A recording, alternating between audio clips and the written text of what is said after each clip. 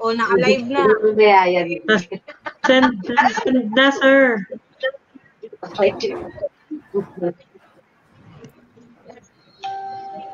Ayan Live. na.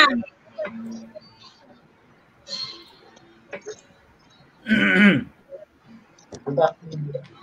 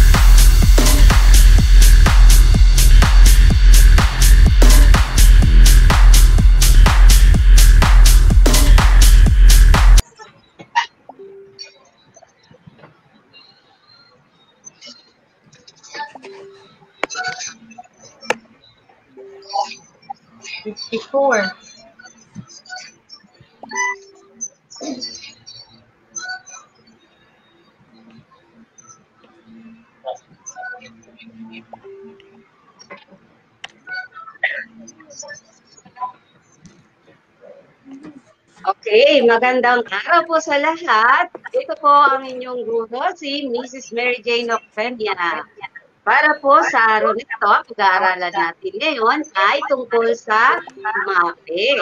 Music, Arts, PE, at Health.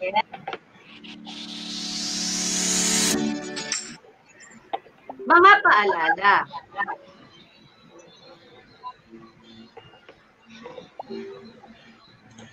Lahat.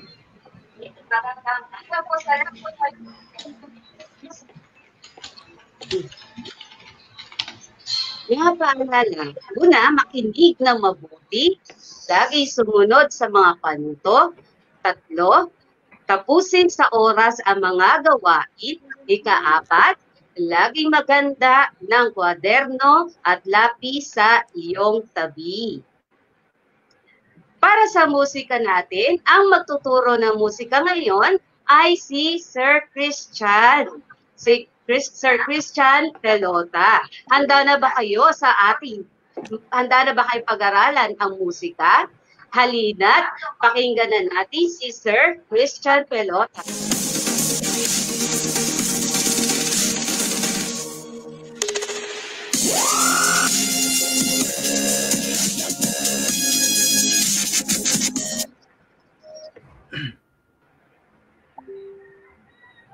Magandang araw mga bata. Okay.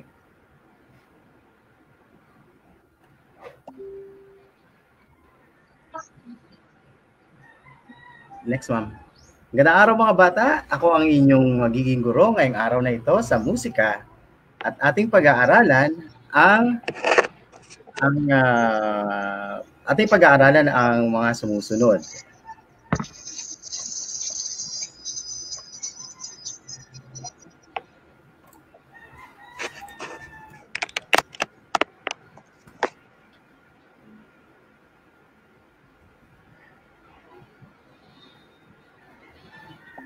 Okay. Ano ang layunin natin ngayong araw na ito? Ang layunin natin ay nakikilala ang ritmo ng musika sa kumpas na dalawahan, tatluhan, at apatan. Number two, na ipapakita ang kaayusan ng galaw at kilos sa ritmong pangdalawahan, tatluhan, at apatan. Pangatlo,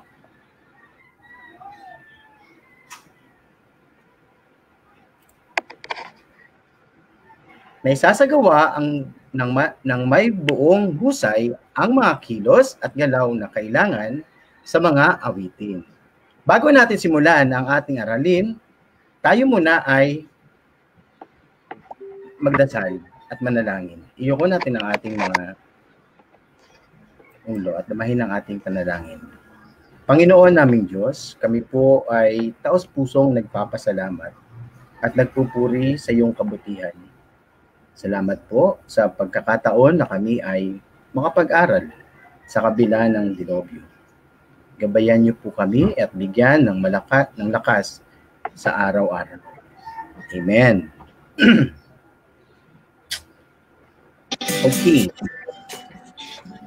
Kumusta na mga bata? Tayo ngayon ay magkakaroon ng panibagong leksyon sa music. Ito ay ang pagpupay ng mga sukat ng musika. Ba kayo? Magaling! Panoorin ang ating video hanggang sa dulo upang inyong maintindihan ang ating leksyon. Ngayon, simulan na natin. Ang pag-awit halo at pagtugtog ay magkakaugnay na gawain. Maaari kang magsagawa ng kilos sa saliw ng awiting batay sa bilang ng beats na napapaloob sa isang sukat ng awit. Maaaring magmarcha, magbalse, o regular na paglakad. Ang isagawa sa sali ng isang. Sa aralin ito, pagtuunan ng pansin ang mga awit at rhythmic patterns na may dalawahan, tatluhan, at apatang sukat. Paano mo malalaman ang isang awit o isang rhythmic pattern ay nasa dalawahan, tatluhan, at apatang sukat? Malalaman mo na ito ngayon. Excited na ba kayo? Magaling naman. Suriin niyo mabuti ang nasa larawan. Ano-anong mga uri ng hayop ang makikita sa mga larawan? Tama, may mga pagong, ibon, tuta, at palaka. Sa paanong paraan ipinangkat ang mga hayop? Magaling! Meron tayong dalawahan, tatluhan, at apat ang pangkat. Ano-anong mga hayop ang ipinangkat sa dalawahan? Tama ulit. Ito ay mga pagong at pala. Anong hayop naman ang ipinangkat sa tatluhan? Tama, ang galing naman.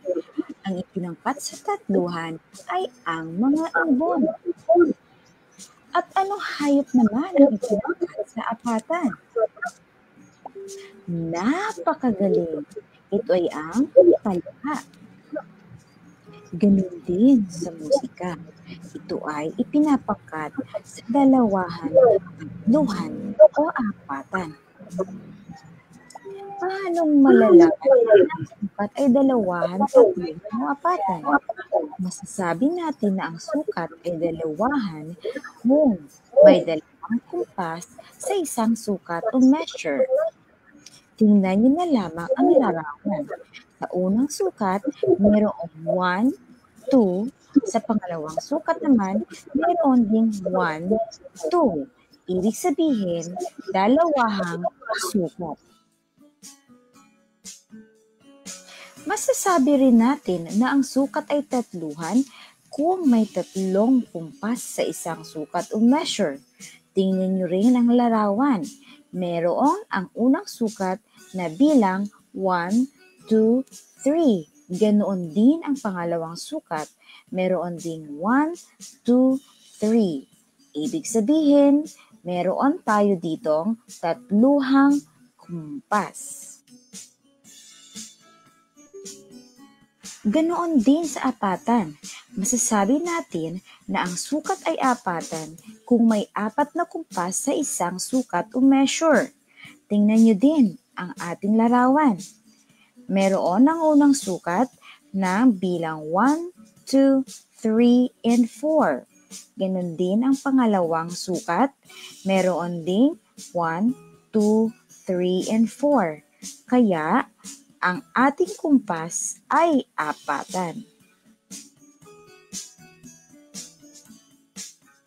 Ang isang stick sa stick notation ay katumbas ng isang bilang sa sukat na dalawahan, tatluhan at apatan. Ibig sabihin, isang stick notation, isang kumpas. Ang isang stick sa stick notation ay katumbas ng isang quarter note o isang quarter rest na pare-parehong tumatanggap ng isang sukat. Again, isang stick notation ay katumbas ng isang quarter note at katumbas rin ng isang quarter rest. Sige nga, subukan natin ang ating nalalaman. Igrupo ang labindalawang quarter notes na nasa kahon ayon sa bilang na ibinigay.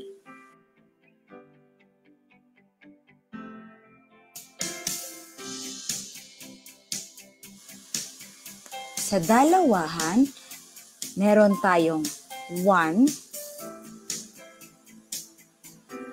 2, 1,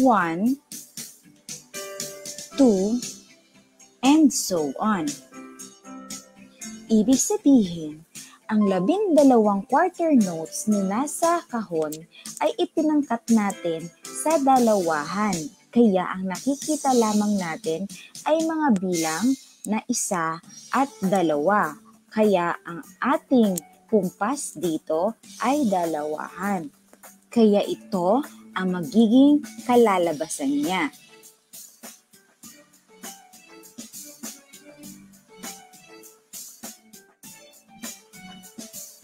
Pangkatin naman natin ang mga quarter notes na ito sa tatluhan.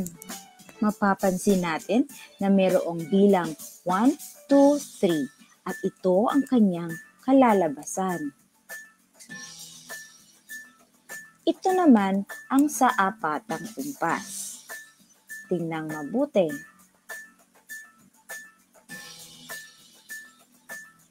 Apat na kumpas sa isang sukat. Bilangin ang sumusunod na stick notation, quarter note at quarter rest. Ang bawat isa ay may katumbas na isang kumpas. Subukan natin.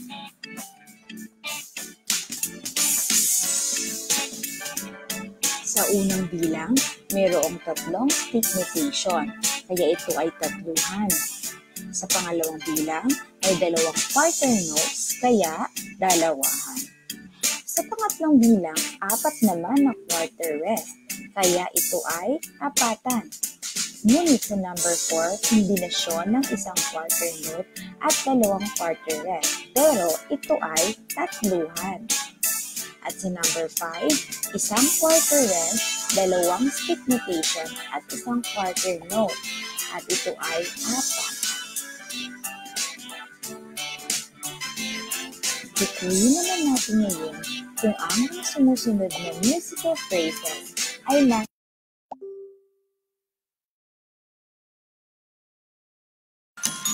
Welcome to Funkies for Kids, piano and music lessons. Today we're going to learn how to clap beats. It's so easy. All you have to do is put your hands together and clap. But we're going to clap in time. When you see the number two on the right hand side, I want you to clap twice.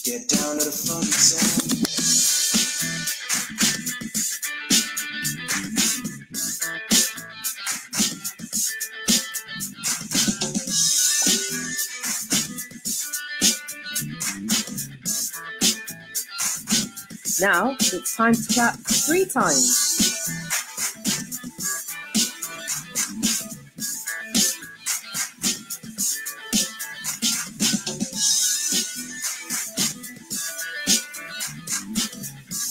Good job.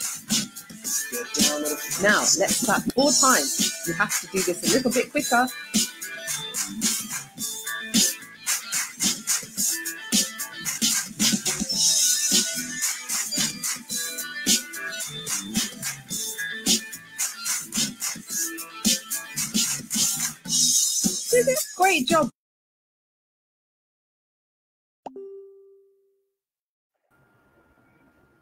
Okay mga bata, ang pinag ang pinag-aralan natin ay ang tungkol sa dalawahan, tatluhan, at apatan.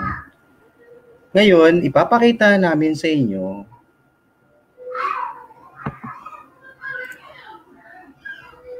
Ma'am, slide please. Yan. Pagmasdang mabuti ang larawan. Ano ang nakikita sa larawan? Okay, very good. Bahay, kubo. Ano pa?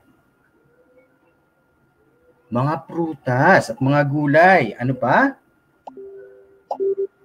Sari-saring gulay. Ano kaya sa palagay ninyo? Ang gagawin natin sa ngayong hapon na ito. Ayan, aawitin natin ang bahay kubo. Tingnan ang nakasulat sa awitin. Kabisado nyo ba ang awitin ng bahay kubo? Very good. Ayan.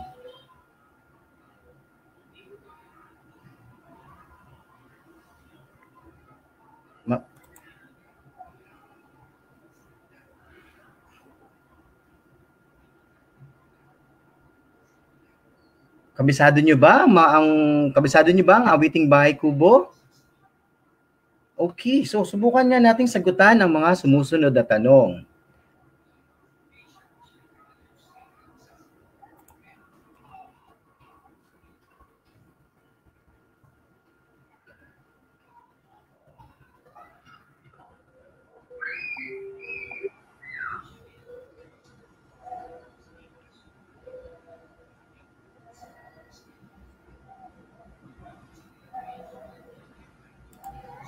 Ma'am, previous slides please.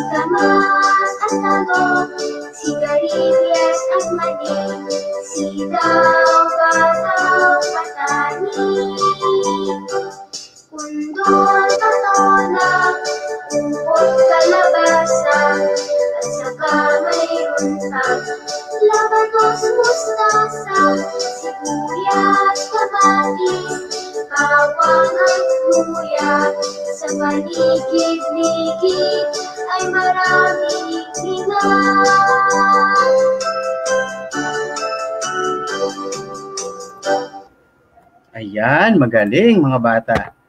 So ngayon, tingnan, sagutin natin ang mga katanungan. Next slide po.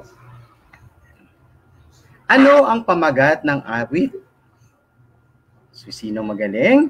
Ayan, napakagaling naman. Ang pamagat ng ating awit ay 5, 4, 3, 2, and 1. Bahay kubo. Magaling. Very good. Okay, next. Number two. Ano ang dalawang bilang ang makikita sa unahan ng awit? Okay, ano daw yon? Napansin nyo ba kung ano yung nandun? Sige nga, subukan natin. 7, 6, 5, 4, 3, two, one. Jaran! Ang dalawang bilang na makikita sa unahan ng awit ay 3, 4. 3 at 4. Pang-apat na tanong. Sa anong bilang nahati ang mga tunog ng awitin? Tingnan natin, ha? 4, 3, 2, 1. Diyan! Nahati ang mga tunog ng awitin ng tatluhan. Good job! Okay, subukan naman natin ngayong awitin ang bahay kubo habang tinatapik ang tatluang pulso. Okay, bago natin alamin natin ang tatluang pulso. 1, 2, 3. Okay? Oh, 1, 2, 3. 1, 2, 3. 1, 2, 3. 1, 2, 3. Okay, let's try it.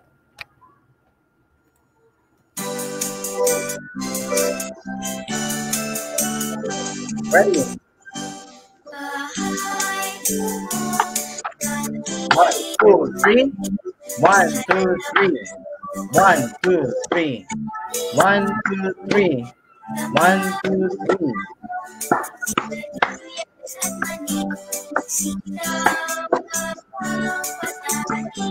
One, two, three. One, two, three. One, two, three. One, two, three. One, two, three. One, two, three. One, two, three. One, two, three.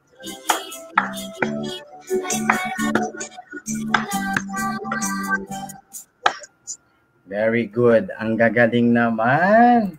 Ang gagaling talaga. Okay. Next slide.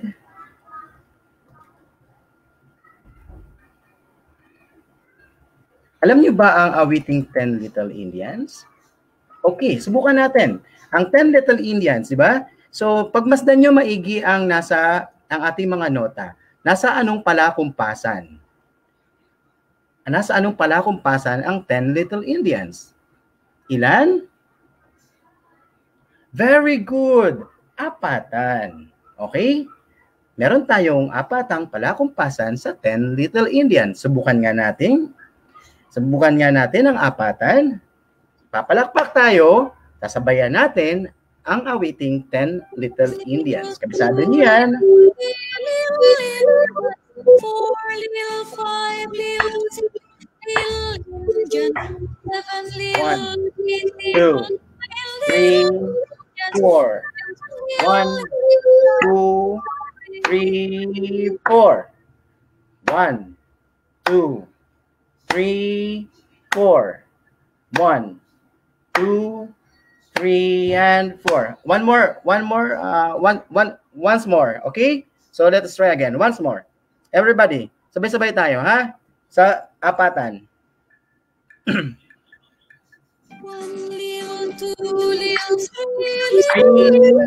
Four. One, two, Three, four. One, two, three, four. One, two, three, and four. Very good. Ang gagaling naman talaga. Good job. Yan ang gusto ko sa inyo. Okay, next slide tayo.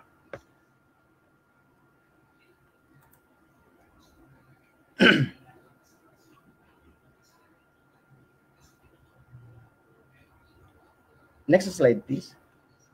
Okay, sa anong bilang nahati ang tunog ng awitin? Sa ilan? 9, 8, 7, 6, 5, 4, 3, 2, 1. Ano sagot? Nahati ang mga tunog ng awitin sa apatan. Ang gagaling naman talaga. Next, number 2. Ano-ano ang mga galaw na iyong isinag sa gawa upang madama ang pulso at ritmo ng awit? Subukan nga natin ang inyong galing. 9, 8, 6, 5, 4, 3, 2, 1. Ayos! Napakagaling. Pagpadyak, pagmarcha, at pagtapik. Okay? So, ang ginamit natin ay pagtapik. Ngayon, sagutin ang mga sumusunod. Piliin ang letra ng tamang sagot.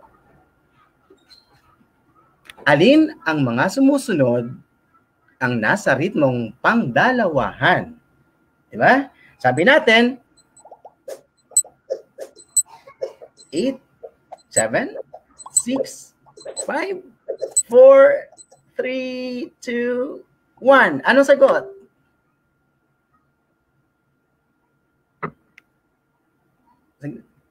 Number 2. Alin ang mga alin sa mga sumusunod ang nasa ritmong tatluhan? Okay? Base sa napag-aralan natin ng mga nakaraan. Ready? A, B, C, or D?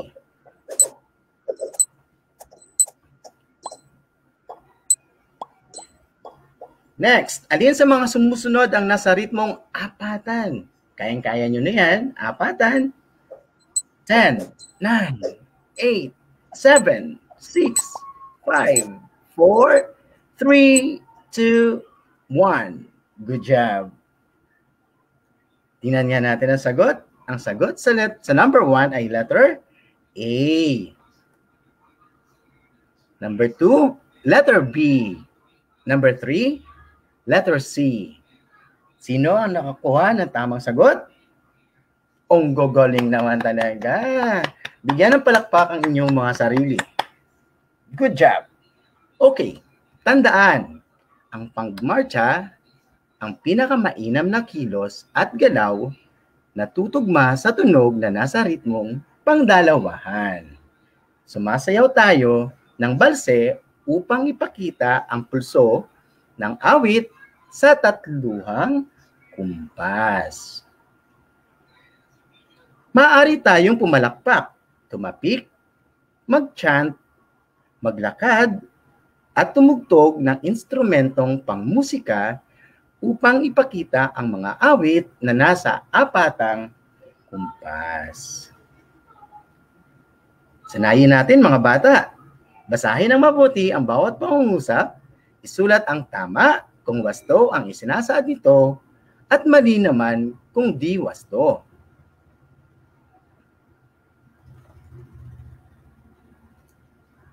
Ready? Number one. Oh, handa na ba ang inyong mga lapis at papel? Ready? Okay. Ready, ready, ready. Number one. Ang ritmong pangdalawahan ay maaaring igalaw ng katawan sa pamamagitan ng pagmarcha. Tama o mali?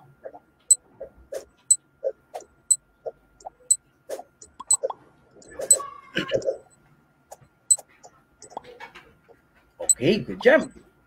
Number two, ang pagpalakpak, pagtapik, pagmarcha, at pagsayaw ay pwedeng isagawa sa dalawahan, tatluhan, at apatang ritmo.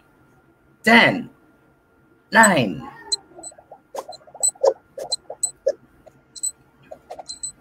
5, 2, 1. Time's up. Okay, next. Number 3. Ang pagsasayaw ng balse ay ang pangunahing kilos at galaw ng katawan sa ritmong apatan. Tama o mali? Go! Sagutin sa notebook, ha? Huwag kakalimutan. Very good. Next, number four. Maaring saliwan ng mga instrumentong pangmusika ang mga awiting nasa ritmong dalawahan, tatluhan, at apatan. Time starts now.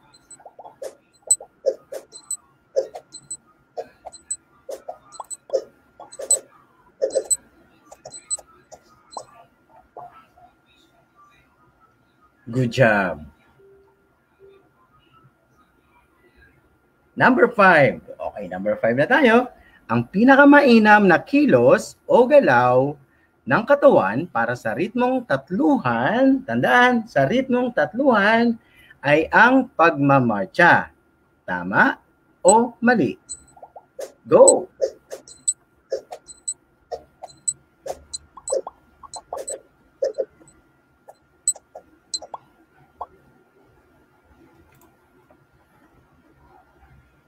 Okay. Tingnan natin ang mga sagot. Tingnan natin kung sino nakasagot. Okay, ilagay sa comment box ang inyong mga sagot. Kung nakailan kayo. Number one, tama. Number two, tama. Number three, mali. Number four, tama. At number five, mali. Is ilagay sa comment box ang inyong mga score. Bilis. Gagaling ng mga bata. Next slide, please.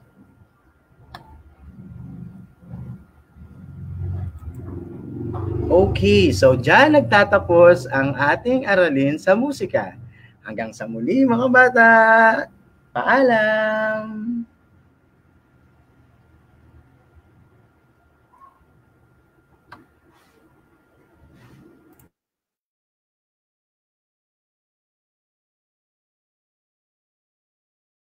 Chris.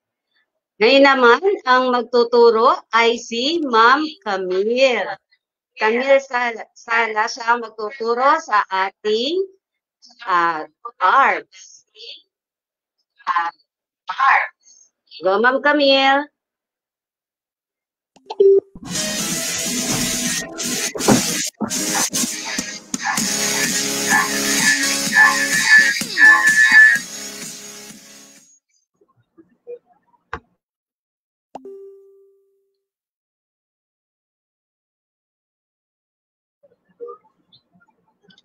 Hello, magandang hapon mga bata. Ngayon, pag-aaralan natin ang sining. Ang mga layunin natin sa araw na ito ay may paliwanag ang harapang bahagi, gitnang bahagi, at ligurang bahagi ng isang larawan. Next slide, please. Okay. Alamin nga natin Maaari ba kayong magbigay ng mga gagandang tanawin na nakikita sa Pilipinas? Gamitin natin yung comment section ha, i-comment natin dun yung mga magagandang tanawin na nakikita sa Pilipinas. E nga, antay ni teacher. Tignan ko nga kung sino yung mga magko-comment. Okay, mga may, nag, may nag-comment na Palawan. Wow naman. Yung iba, ano to? Pangasinan. Okay, sige. Next po. Sa pagguhit ng tanawin, napapalaki o napapaliit ng isang pintor ang mga bagay sa larawan ayon sa kanyang kinalalagyan sa layo ng tumitingin. Next po. Okay. Ang balance ay nagpapakita ng kaayusan sa larawan sa pamamagitan ng tatlong bahagi.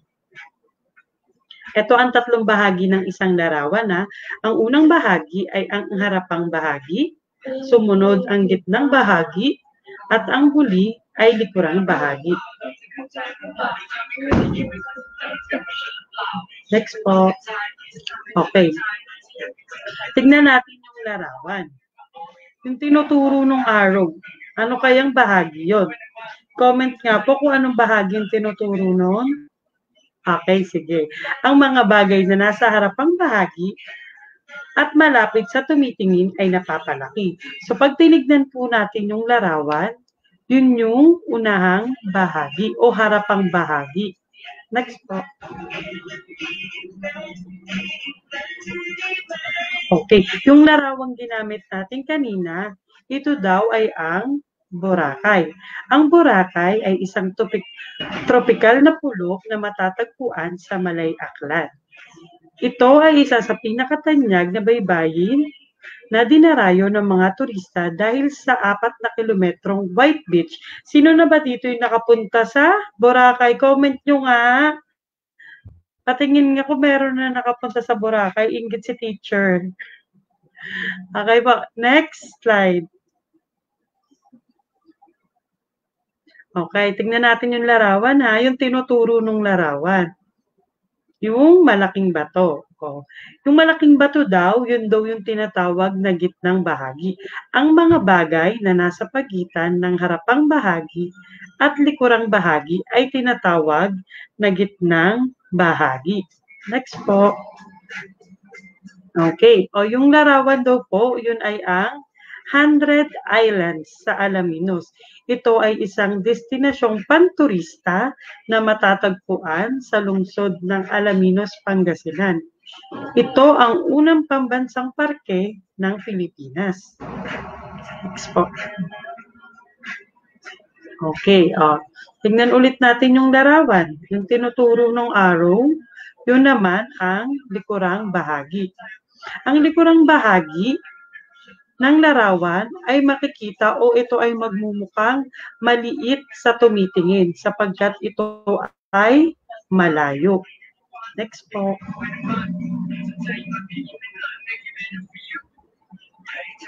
Okay, yung nasa larawan daw ay Chocolate Hills. Ang Chocolate Hills ay sa Bohol ay is, ay sa Bohol, isang pulong lalawigan ng Pilipinas na matatagpuan sa lungsod ng Tagbilaran, sa gitnang Visayas. Nababalot ng lunti ang damo ang borol at nagiging kulay tsokolate kapag tag-ulan, kaya nagiging tsokolate ang borol na pangalan nito. Sino na nakapunta sa Bohol? Meron na ba nakapunta dito sa Bohol? Comment nga po kung nakapunta na kayo. Okay, galing. Ang daming sumasagot. Ang dami nyo naman na napuntahan. Ah, sige. Para sa gawain natin, tiganto po ah, i-ready natin yung mga gamit. Gawain 1, pagguhit ng larawan or ng tanawin. Yung mga gagamitin natin ay bond paper, lapis, pambura, at crayola. Nahanda na ba yung mga gamit? Nasa tabi nyo na ba? Okay, ang unang paraan ng gagamitin natin ay umisip muna kayo ng isang magandang tanawin na lugar na gusto nyong iguhit. Sige po, mag-isip ng lugar na maganda, yung gusto nyong iguhit. Pabalik po ako. Okay, number two. Pag-isipan kung anong mga bagay ang dapat isama sa iguguhit. Hmm. Isipin nyo lang po ah, kung ano yung ilalagay nyo. Next.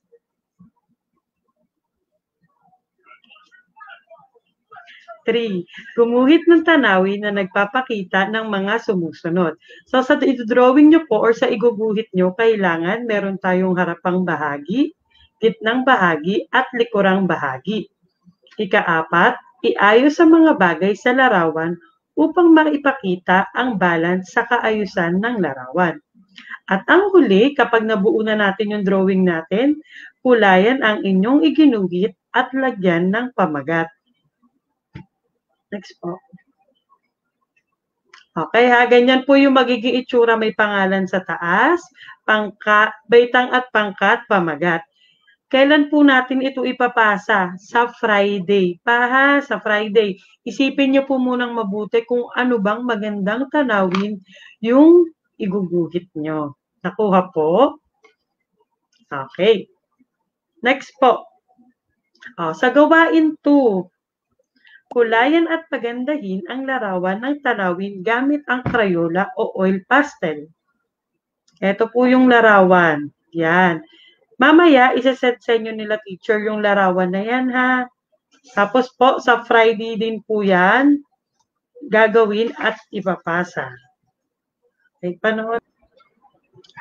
Okay. Maganda ba yung pinanood ni teacher? Palakpakan nga dyan. Okay.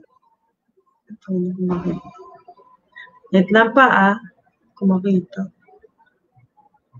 Okay. Sa isang larawan ng tanawin, ang harapang bahagi ang pinakamalapit.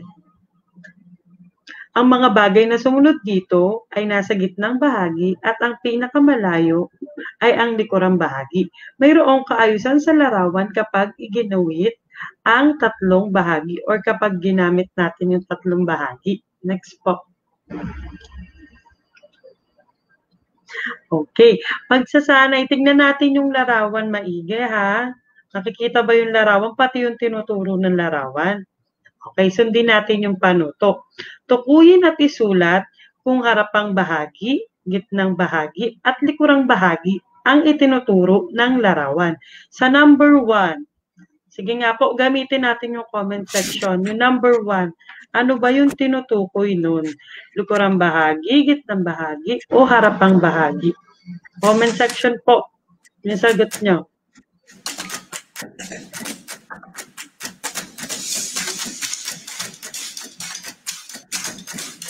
Okay, may mga sumagot na. Ano daw yun? Unahang bahagi. Tignan natin mamaya ah. Number two. Yung bun... Ah, sige po. Number 1, 2, and 3, i-comment na po sa comment section kung anong bahagi ng larawan yon. Sige nga. Ah, tignan natin kung tama ang inyong mga sagot. Number 1, siya ay Ang tamang sagot gitnang bahagi. Number 2, ano kayang bahagi siya? Yun ang likurang bahagi. At number 3, ay harapang bahagi. okay, harapang bahagi. Parang may mga nalito. May nalito ba? Sige ha, titigan natin mabuti yung larawan para hindi po malilito ha. Ah, sige po. Next po.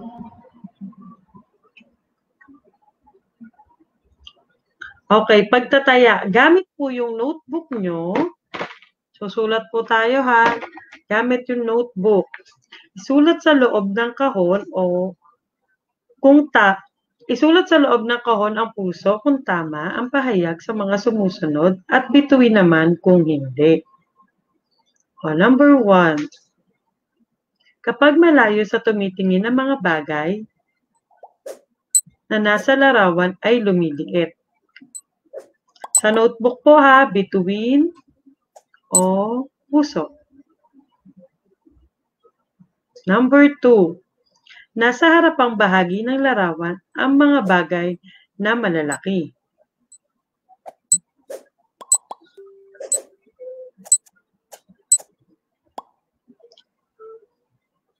Number three, wa- walang kaayusan sa larawan kung gumagamit ng balance.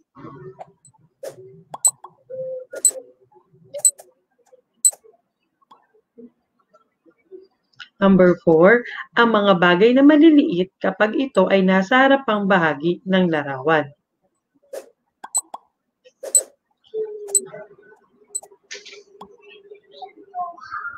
Number five, ang mga bagay na nasa pagitan ng harapang bahagi at likuran ay tinatawag na gitnang bahagi.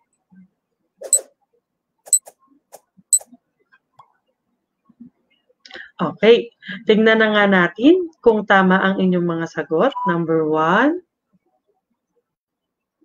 Tamang sagot ay puso. number one, heart. Number two,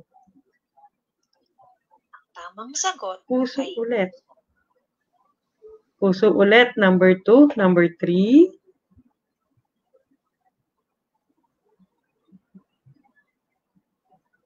ang tamang sagot ay bituin. ang number three ay between. Number four, Ang tamang sagot ay bituin. at ang huling bilang ay number five. Ano kaya ang tamang sagot? Ang tamang sagot ay puso. Okay, puso. Sino sa inyo ang mga ang nakalima o naka-perfect? Comment nga po sa comment section kung naka, kung ano ang inyong score. Okay, may mga naka-5 ah. Very good.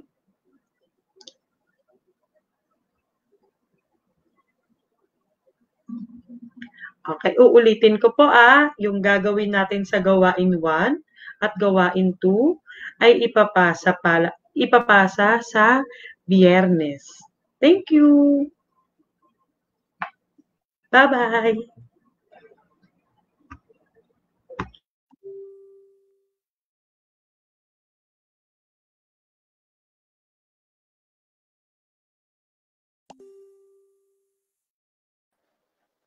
Thank you, Ma'am Camille. Okay. Physical education naman tayo. Okay. Saralin form. Ang inyong magiging guro, teacher.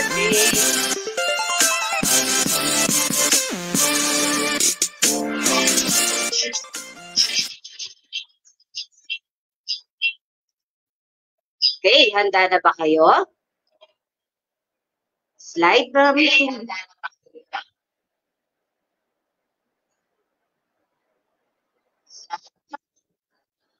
Okay. Layunin. Sa pagtatapos ng aralin, araling ito, ikaw ay inaasang matukoy ang iba't ibang gawain na ginagamitan ng pagbaluktot ng tuhod. Bago natin umpisahan ang ating talakayan, tumayo muna, tayo-tayo muna, stretch, stretch, at gayahin muna natin ang nasa video. Handa na ba kayo? Handa na ba kayo? Okay, sasayaw muna tayo.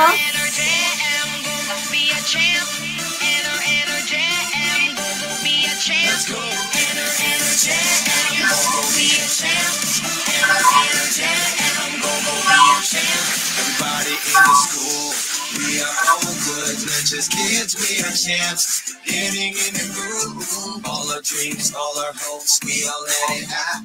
Growing up, building champions, we'll shout. with the winning energy. Winning each day. Every day we're champions.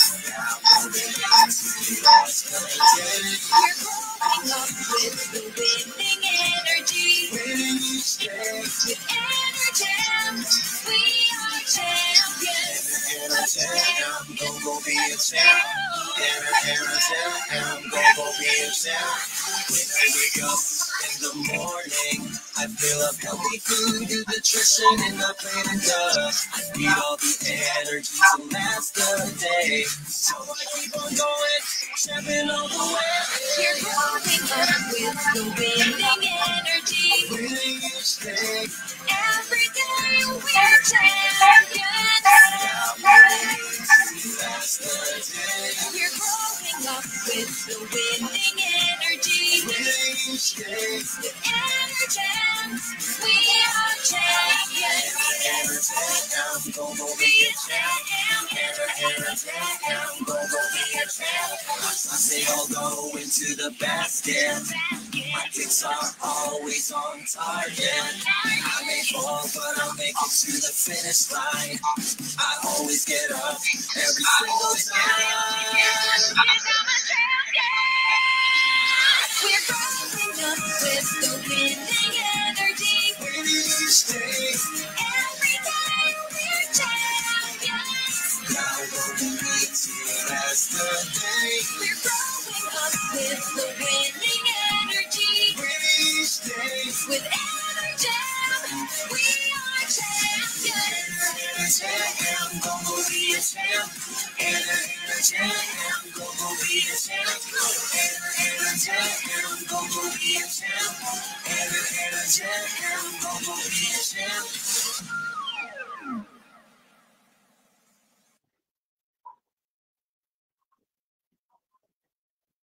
Okay, hayada. Nag-enjoy ba kayo? Okay, na-exercise at pinagpawisan na tayo. Tungo naman tayo sa balik tanaw. Slide na yan. Balik tanaw. Panuto. Suriin ang larawan. Sabihin kung tama o mali ang paraan ng paglalakad. Lagyan ng check. Ang patlang kung ito ay tama at X naman kung mali.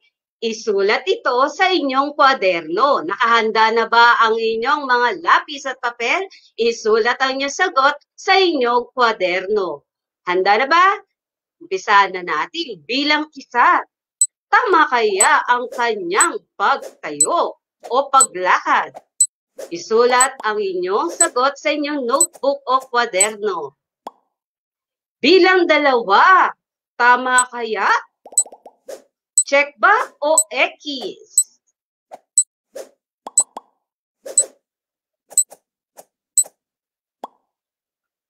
Pangatlo, Isulat kung check o X.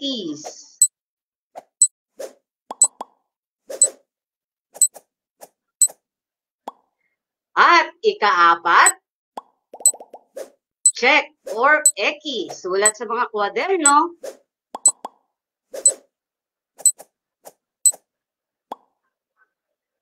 At ang panghuli, tama kaya ang posisyon ng kanyang paglakad. Check or X ang isusulat. Okay. Tingnan nga natin, checkan na ang sarili ninyong notebook para malaman natin kung nakailan kayo. Number one, check. Number two, X. Number three, X. Number four, check. Number five, X. Ngayon, paki-comment sa comment box ang inyong mga score. Nakailan kaya kayo sa ating unang pagsubok o re- ano, review lang natin? Ba, may mga naka-5, may mga naka-4 ba? Very good. Ibig sabihin na pag-aralan ninyo ang mga aralin, mga nakarang aralin. Ngayon, panuto, tingnan ang nasa larawan. Kaya ninyo, kaya nyo ba itong sundan sa figure A? Nakikita nyo ba yung figure A? Gayahin natin ha. Ibaluktot ang mga tuhod, iunat ang kamay sa magkabilang gilid, at nakaturo ang mga daliri sa taas. At turo ang daliri sa taas. Then, ikot ang kamay ng walong beses clockwise at counterclockwise. O, for example, ikot natin yung ating mga kamay clockwise. One, two, three, four, five, six, seven, eight. Counterclockwise. One, two, three, four, five, six, seven, eight. Nagawa nyo ba ng tama? Kung nagawa ninyo ba, very good kayo. Ang gagaling ng mga baby ko. Okay, next. Figure B. Tingnan, itaas ang kanang paa at isandal sa kaliwang binti. Next, pagdikitin ang kamay habang nakaturo ang mga daliri sa itaas para ka nagdarasal lang. Gumilang ng walong segundo at ibaba, ulitin sa kaliwang paa naman. Kumbaga, magkabilaan lang siya. O, count na tayo. 1, 2, 3, 4, 5, 6, 7, 8. 8, 7, 6, 5, 4, 3, 2, and 1. Tingnan naman natin ang figure C. Umupo ng magkapatong ang binti. Ipatong ang kamay sa ibabaw ng tuhod. Huminga ng paloob ng walong bilang at palabas ng walong bilang. Or inhale, exhale tayo habang naka Upo na magkapatong ang dalawang binti. Bilang tayo, inhale, exhale. Walong tagwalong beses. Inhale, 1, 2, 3, 4, 5, 6, 7, 8. Exhale, 1, 2, 3, 4, 5, 6, 7, 8. Next, figure D. Ibaluktot ang kanang tuhod habang nakaunat ang isang paa patalikod. Iunat ang mga kamay ng diretsyo, bumilang ng segun, walong segundo at ibaba. Ulitin sa kaliwang tuhod. O, bibilang tayo, naka-stretch lang siya. Then, 1, 2, 3, 4, 5, 6, 7, 8. 8, 7, 6, 5, 4, 3, 2, and 1. Sagutin ang mga tanong. Ano-anong gawain ang ginawa mo gamit ang tuhod? Uy, comment sa comment box, ano ba ang ginamit natin o mga gawain natin para habang ginagawa ay ginagamit natin ang ating tuhod. Ano-ano kaya ang gawain na to? Number two, ano ang masasabi mo sa mga galaw o kilos na iyong ginawa? Ano kaya? Ano kaya masabi niyo sa kilos na ginawa natin? I-comment nga. Ito ba'y nakakapagod? Nakakahingal? Ba? Galing naman. Next. Naisagawa mo ba na maayos? Naisagawa niyo ba naman ayos ang exercise natin? Bakit? I- i-comment nga. Ba, ang gagaling. Next, mga iba't ibang gawain na ginagamitan ng pagbaluktot ng tuhod. Una na dyan, ang pagluhod na ma- ma- magkalapat ang tuhod. Ito yung pagdarasal. Kapag tayo nagdarasal, yan, tayo'y naluhod. Pangalawa, pagluhod habang nakatukod ang isang binti sa harapan.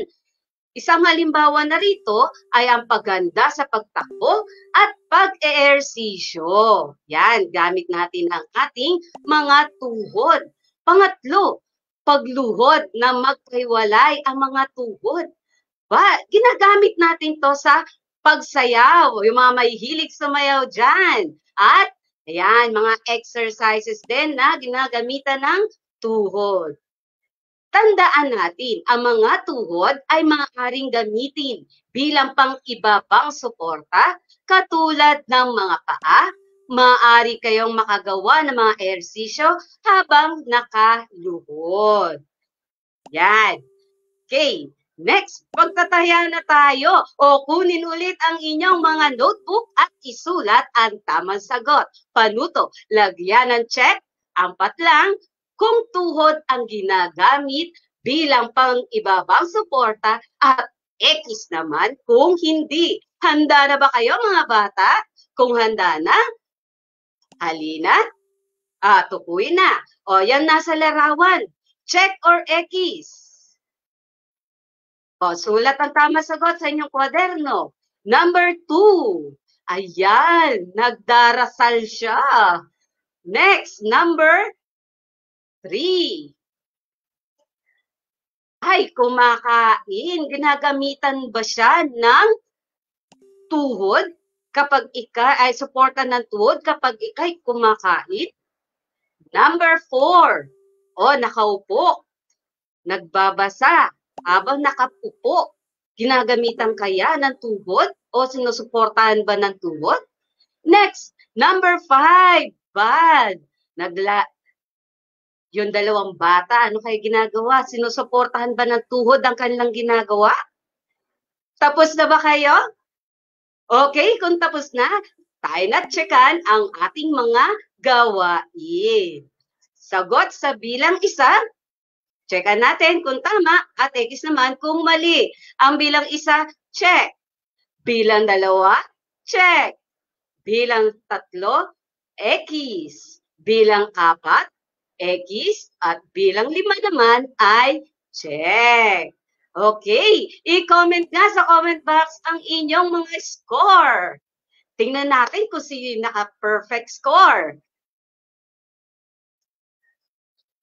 Ba, magagaling ang mga bata natin ng Francisco Benitez. Next. Okay. Sunod naman natin ay tungkol sa health education at ito naman ay tuturo ni Ma'am Jocelyn Benibe. O, Ma'am Jo.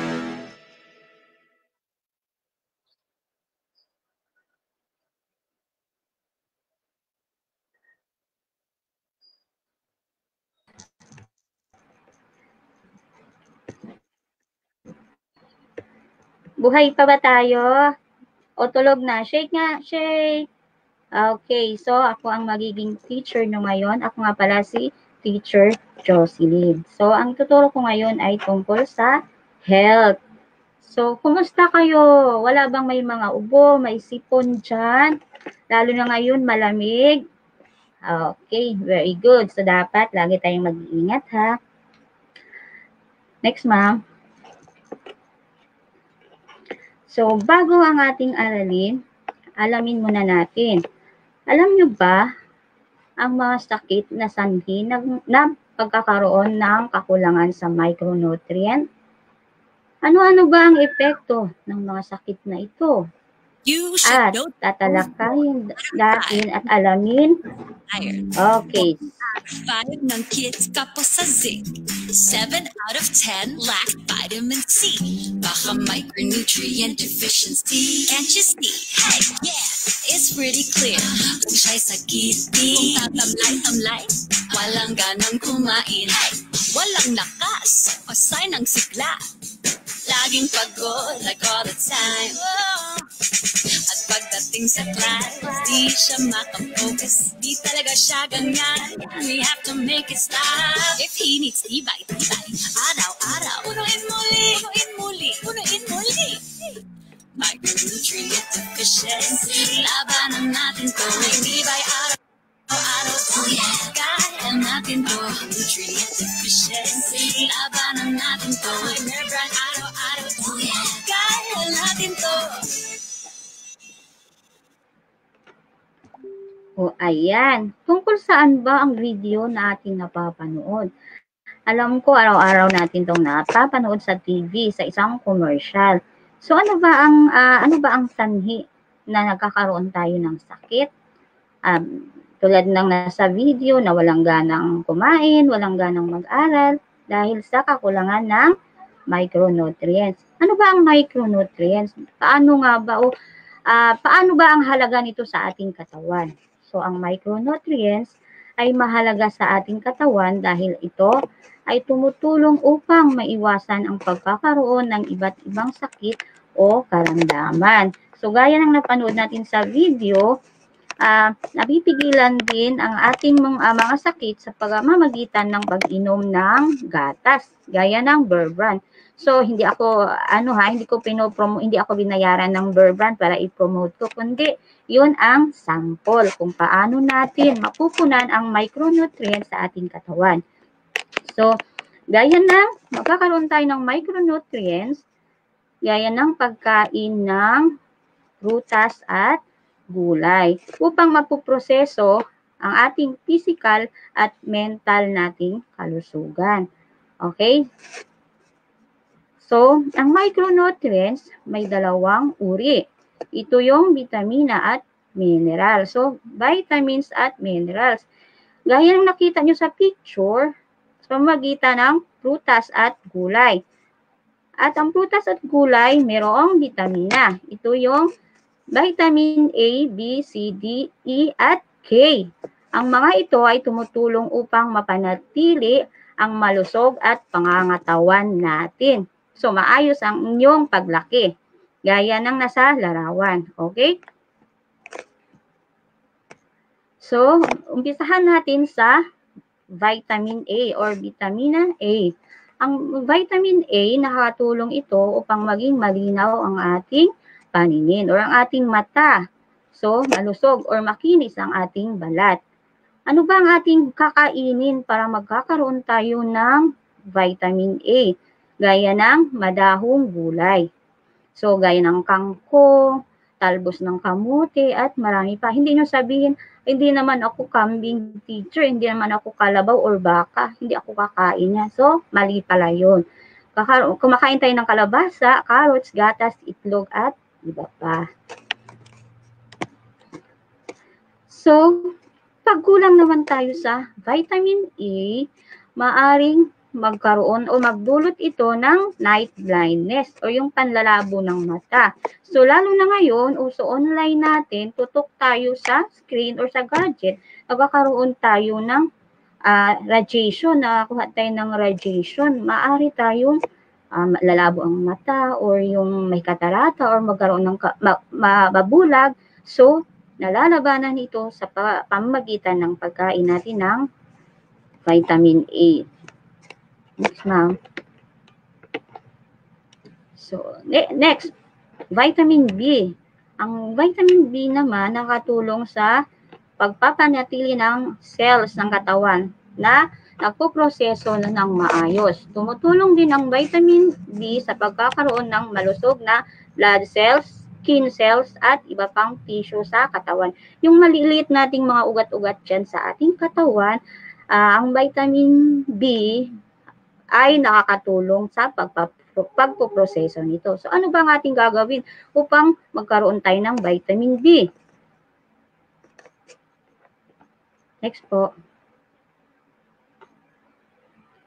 So, ito ang ah, pagkain na mayaman sa vitamin B tulad ng gulay, karne, atay, itlog, prutas, mga pagkain may whole grains at cereals at iba pa.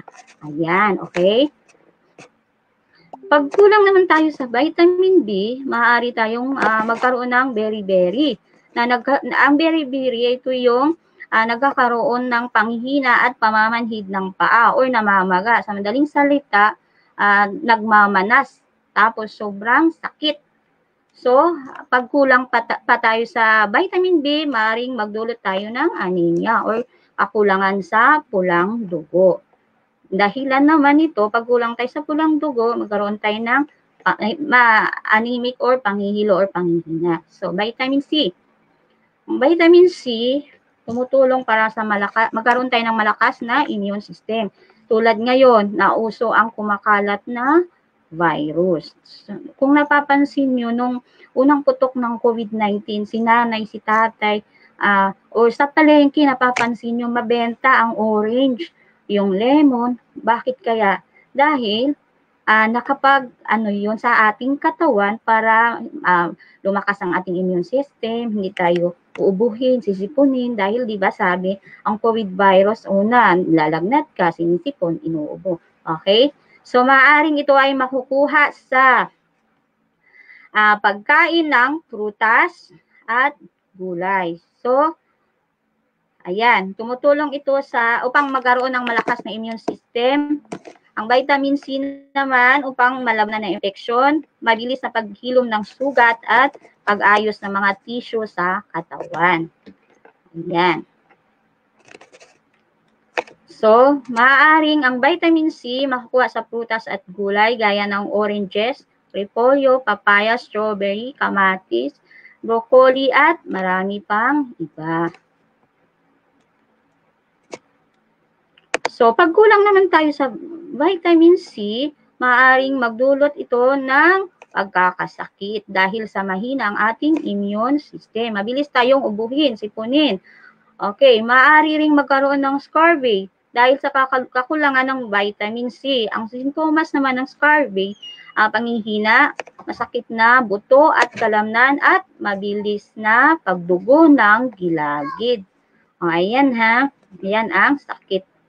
Vitamin D, tumutulong naman sa matibay na buto at ngipin. So, vitamin D maaaring makuha sa pagkain tulad ng gatas, tuna, isda, itlog at marami pang iba. O, ayan. Sikat ng araw, meron din palang vitamin D. So, ugaliin natin magbilad umaga, hindi hapon, hindi, hindi tanghaling tapat. Magkakaroon tayo ng vitamin D sa umaga 7 o- to 8, ganon, 15 minutes. Ayun.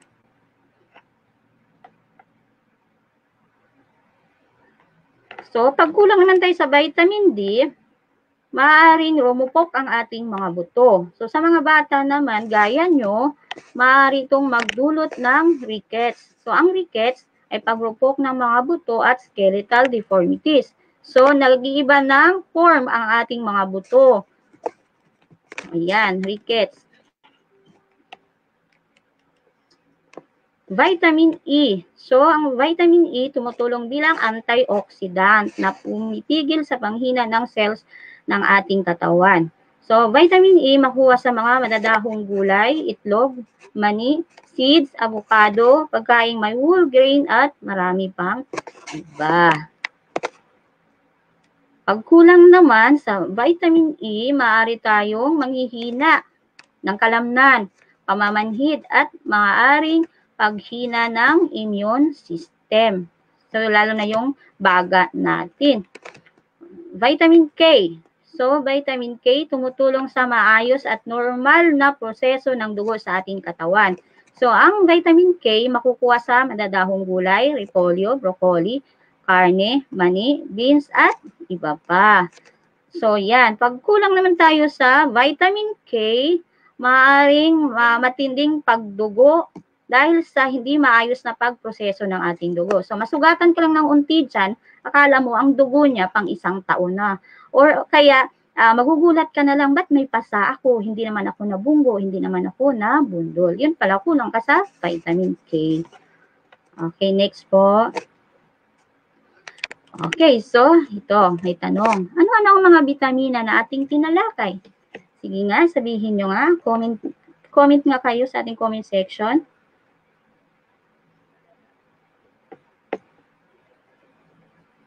Okay, very good. Ito ay ang vitamin A, B, C, D, E, at K. Ayan po ang lahat ng vitamins na ating tinalakay ngayon. Okay, next po. Number two. Alam ba ninyo ang mga sakit na sanhi ng pagkakaroon ng kakulangan sa micronutrients? Sige nga, alamin nga natin kung naalala nyo ang tinalakay natin. Okay, very good. May tamang sagot. Okay, okay. So, ang tamang sagot ay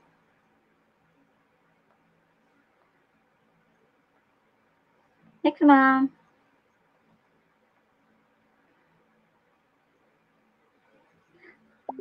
Okay, alam, ah, ang maro- maaaring magkaroon tayo ng panghina ng katawan, ah, walang gana sa pagkain, hindi tayo ganahang mag-aral, yung mga lesson ni teacher hindi na napapasok sa utak, kasi nga, kulang ang ating katawan sa pagpoproseso ng iba't ibang vitamins. So, nagkakaroon tayo ng sakit o kaya nagdudulot ito ng kamatayan. Ano ang epekto ng mga sakit na ito? So, gaya na sinasabi ko, maaari tayong manghina, walang ganang kumain, nagkakaroon ng sakit na tulad ng rickets, scurvy, at marami pang iba. Number, okay, sanayin natin.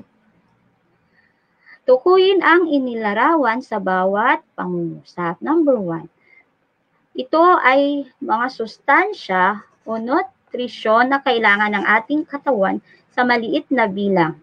Ang dalawang uri nito ay vitamina at mineral. Sige nga, tukuyin nyo nga, comment nga. Micronutrients o macronutrients? Sige nga, comment section. 5, 4, 3, 2, at 1. Okay, ang tamang sagot ay micronutrients. Very good. Number 2. Ang vitamina na ito ay nakakatulong para sa malinaw na paningin at malusog na balat. Anong tamang sagot? Vitamina A or vitamina B? B. Comment section. Okay, 3, 2, 1. Ang tamang sagot ay vitamin A. Next, number 3. Ang vitamina na ito ay tumutulong para sa malakas na immune system at paglaban sa mga infeksyon. Ang tamang sagot ay comment section, vitamina C or vitamina B? 6, 5, 4, 3, 2, 1. Okay, ang galing ni Kiang 30, vitamina C. Next slide, ma'am. Number 4. Ang vitamina na ito ay tumutulong para sa matitibay na buto at ngipin. Tamang sagot, vitamina C or vitamina D. Comment section ulit. 6, 5, 4, 3, 2, 1. Tamang sagot ay vitamina D. Very good. Ang daming nagkakatama ng sagot. Okay, number 5. Ang vitamina na ito ay tumutulong bilang antioxidant na pumipigil sa panghina ng ating mga cells sa ating katawan. Vitamina D or vitamina A, E. 8, 7, 6, 5, 4. Vitamina. Sino kung nakakuha ng tamang sagot? Vitamina E. Okay, tama. Daming correct answer. Next, ma'am.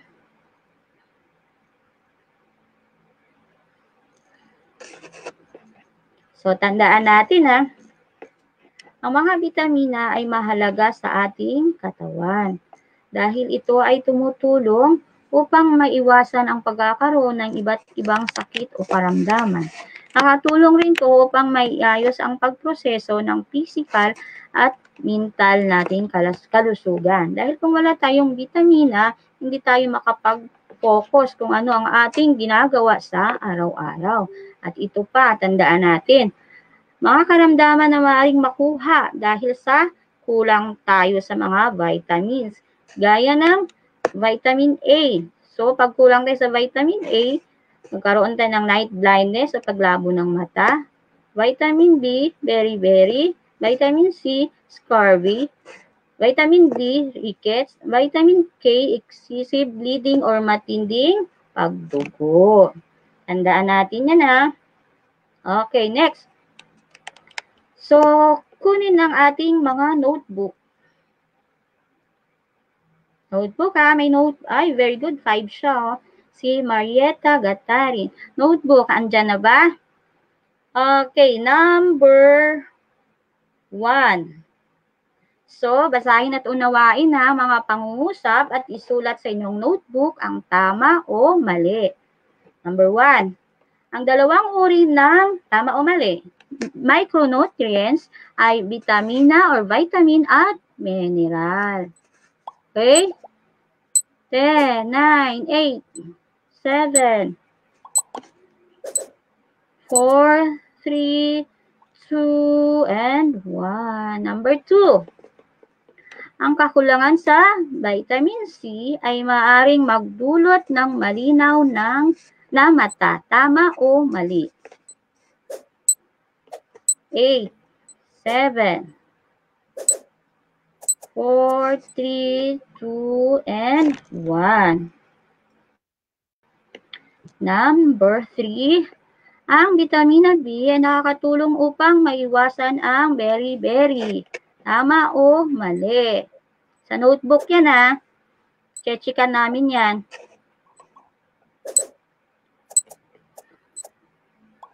Two and one. Number four. Ang sikat ng araw ay nagbigay ng vitamina D. Tama o mali?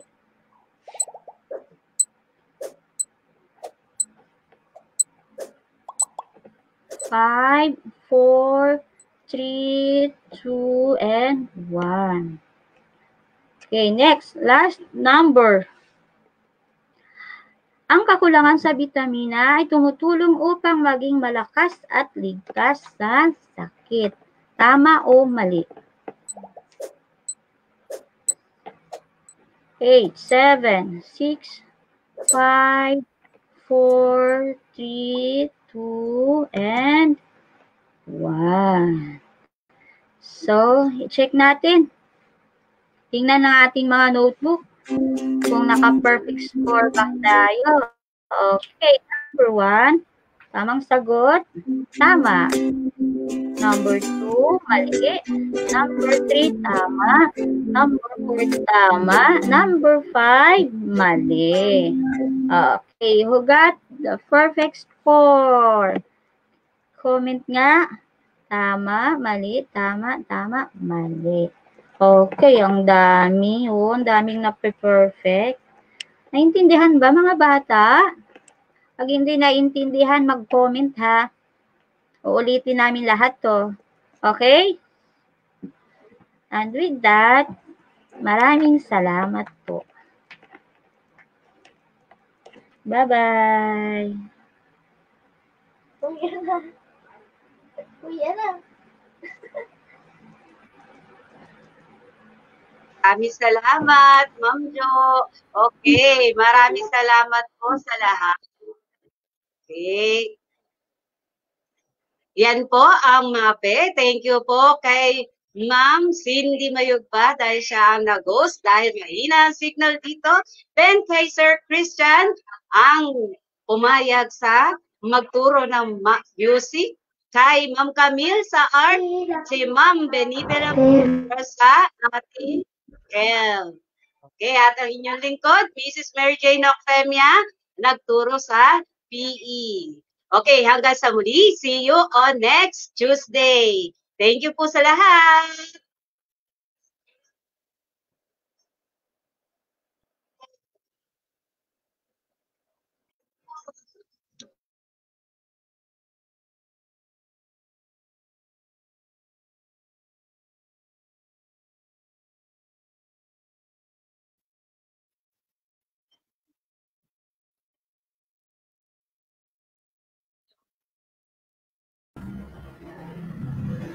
Master, may mali yata yung tinuro mo. Naka-off na yung ano,